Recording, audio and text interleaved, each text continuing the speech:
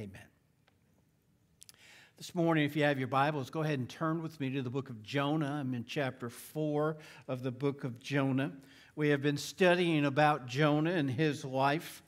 And I believe what we have seen in the first four chapters uh, of the book of Jonah is how God is working in the heart of Jonah. And I believe today that God wants to work in our heart as well. And in Jonah's heart, there was a lot of different issues that Jonah was dealing with. And one was he simply did not want to go and tell the message uh, that God wanted him to tell to a certain group of people. And God says, Jonah, I need you to do this. What we find, though, is that Jonah had developed some bitterness and had basically an idea in his head that he said, I, I just don't want to minister to those people. But again, we see that God's love is for everyone and that God had a job for Jonah to do.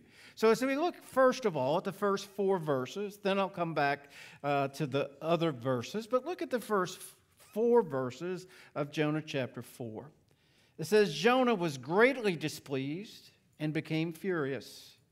He prayed to the Lord, Please, Lord, isn't this what I thought while I was still in my own country? That's why I fled toward Tarshish in the first place. I knew that you are a gracious and compassionate God, slow to anger, abounding in faithful love, and one who relents from sending disaster. And now, Lord, take my life from me, for it is better for me to die than to live. The Lord asked, Is it right for you to be angry? As we look at this, these first four verses, we see where Jonah is, ple- is crying out to God, that God, I, I, basically, I told you that this was going to happen. For those of you that maybe don't remember the entire story, God had called Jonah to go to the people, to the, to the Ninevites, and to share the gospel with them. And he didn't want to do it. He had a hatred for them. He just did not, he had, he despised them. But he just didn't want to go and share the gospel. I say the gospel, the news that God wanted to, to share. But the question is do we have that right to refuse to do what God has called us to do? If God tells us and we say that we're a follower of God, do we have that right to tell God no? And Jonah, in his own life, had either hatred or despised these people. And God was saying, Jonah, this is what I want you to do. And finally, as we know in chapter 3, Jonah went to Nineveh. He told them that destruction was coming, and the only way for the destruction not to come would be to repent and turn their lives over to God. Well, the people did that. And now God is not going to punish them at this moment because they did what God wanted them to do. They repented. They saw the need and realized that what they were doing was wrong. And what did Jonah do? As you look at that passage of scripture, he became furious. He was mad. It was like, God, I knew you were going to give in. I, I, I, knew it. But look what, as he goes on to that, and he, he said, I know that you are gracious, compassionate, slow to anger, abounding in faithful love, and one who relents from sending disaster. Now, is that a good thing or a bad thing? Scotty, I agree with you. All of those things that I just read that in verses 2 and 3 are things that God does well. These are things that we should be grateful for. And, and if we're honest with ourselves as we look around today in our own life, aren't you glad that God is gracious and compassionate and slow to anger and faithful and one who relents from sending disaster? I don't know about you, but I am. I'm thankful that he has those qualities, that he does those things. But Jonah, because of the bitterness in his heart towards those people, was furious. It's almost like today. I'm trying to think how to say it. you might have people that you don't care for. And when something good happens to those people you don't care for, sometimes you get upset. Because you think, well, but but they're not in your mind, they're not good people, but something good has happened. This is where we have to sometimes stop and look and look at the position that we're in. God was looking at a lost city. Scripture says over like 100,000 people. He sent his word to them, his messenger to them to repent, and that's what they did. God knew, I believe, that Jonah was having some issues inside of his life, and God was trying to get Jonah to understand that. That God's will, God's purpose, God's message, God reaching out to people, well, that's a God thing. And because of that, Jonah needed to accept that. But oh, Jonah was having a hard time. You might say Jonah's disposition was not where it needed to be. In other words, he, he was in this, where he was just in this, know, some people would say today, he was in this funky mood. And he became bitter towards these people.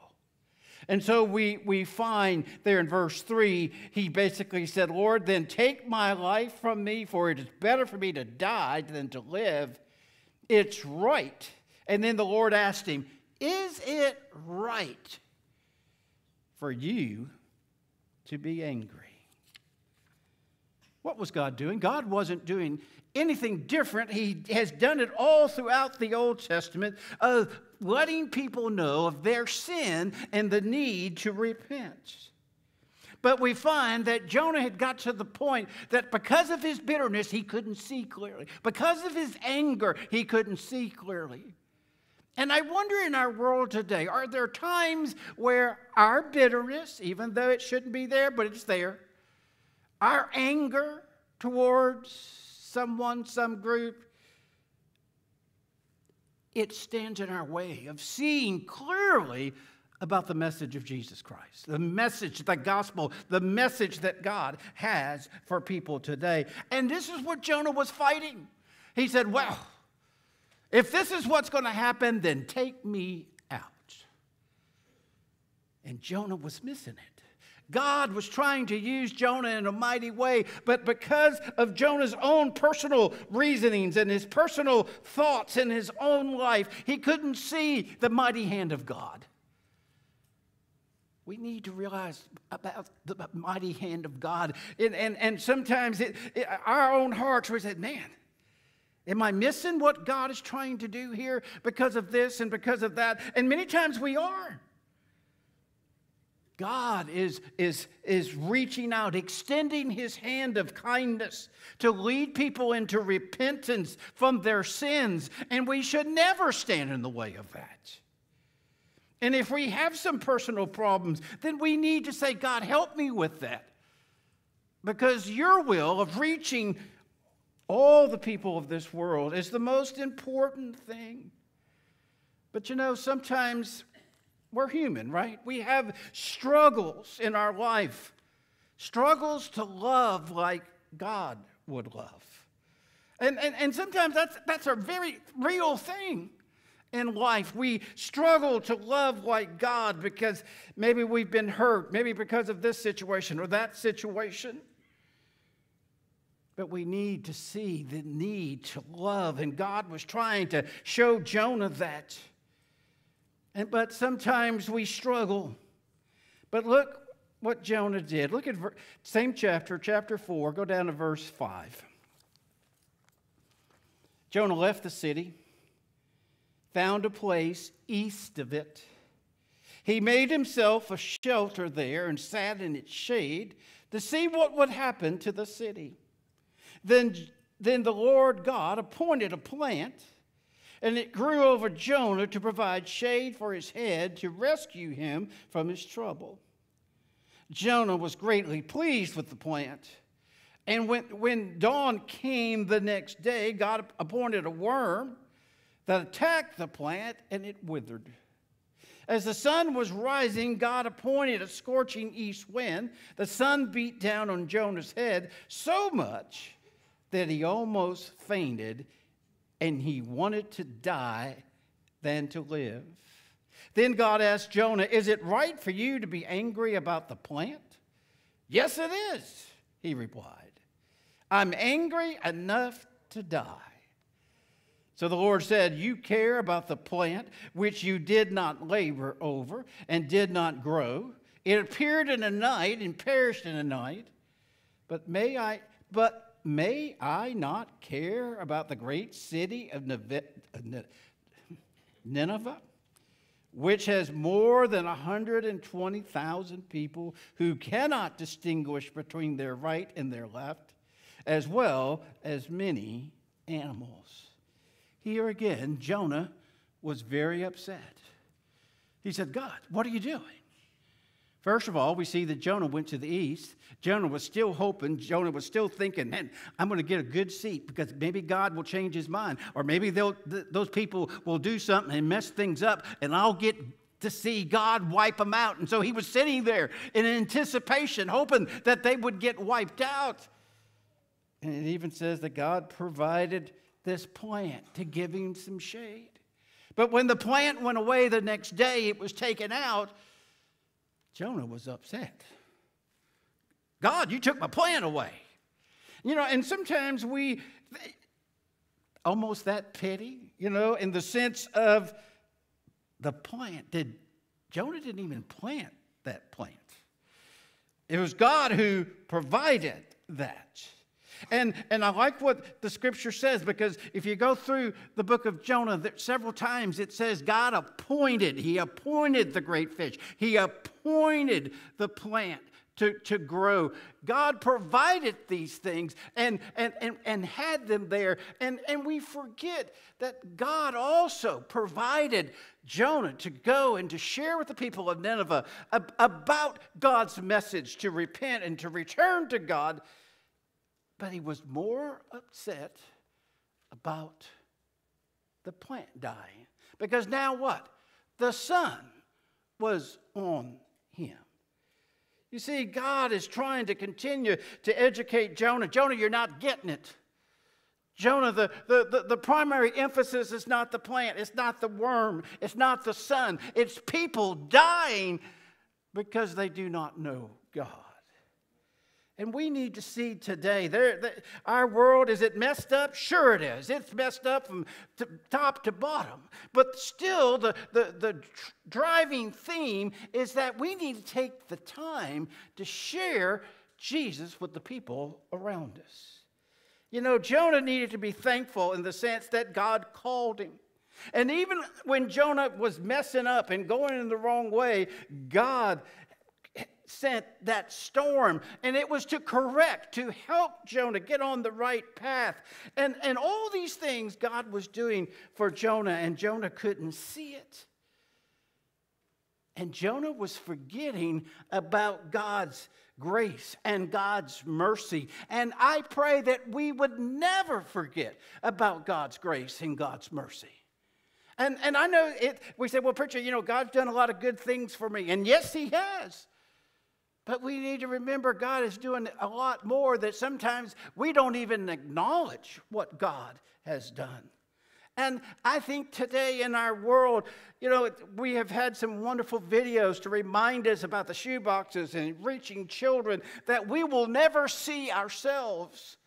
But it's having compassion for them. But we need to have compassion for the people of our own city, for our, for our own area here. There are people who do not know Jesus Christ as their Lord and Savior, people who are dying and going to hell. We need to have compassion for them. We need to share God's grace. But, well, my the air in my tire has gone out, so I, I, can't share today. We, we need to realize the importance of, of putting God first and sharing with the people around us. But you know, I believe all throughout this book, what God is doing is that He's trying to discipline Jonah. He's trying to show Jonah, Jonah, you're missing what truly is important. And that is, Jesus. That is what God can do. You know, we have opportunities. Parents, you have opportunities. When your children start asking questions about Jesus and being baptized, eh, you've got a responsibility to help them come to that understanding and, and to realize what that is. We, we need to be careful that we don't put that off. Here we need to see the, the importance again that God had appointed things and brought things in, into perspective, but Jonah was just thinking of himself bitterness. If we become bitter, and a lot of times I've had people explode in my face saying, I'm not bitter. I said, okay. Let's just put anger down then, you know. uh, but when we let bitterness and anger come up, we say, well, there's a reason. I said, well, okay, let's deal with that. Because God's love can deal with that bitterness and that anger and, and all of those things. We need to see this morning, and I do sometimes, you know, our, my attitude, your attitude, you know, for God to just help us to keep our heart fixed on the truth, His truth. Our world today is trying to get us to, to move to this side and that side and just say, well, whatever happens is okay. But we need to stay focused on the truth that God has provided for us in His Word. And we should always, always have a compassion for the lost. And do what we can to share the news. Jonah should have been on that side of the mountain rejoicing that those people repented, but instead he just want to curl up in his little ball, stick his head in the ground, and say it's over. Guys, every time a child accepts, every time a teenager accepts, every time an adult accepts, there should be rejoicing for one more added to the kingdom of God. This morning, Jonah could not see that God was trying to help him and work with him, and he missed the blessing. Guys, let's don't miss the blessing of reaching one more for him. Let's pray. Heavenly Father, Lord, we just thank you. We thank you for your love. We thank you, Lord, for how you have provided and how you are there for us. Lord, I just ask, Lord, that we would see what you are doing, what you have done what you have continued to do. And Lord, may we just don't get to the point that we're so focused on us that we forget the needs that you've laid out before us. Lord, I just thank you and just ask that you would speak to us. We ask this in your Son's name.